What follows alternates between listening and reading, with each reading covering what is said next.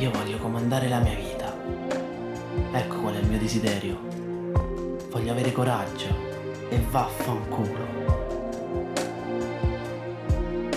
Ma che volete da me? Che volete? Io non lo so che voglio, non lo so. So solo che non voglio fare la fine di mio padre.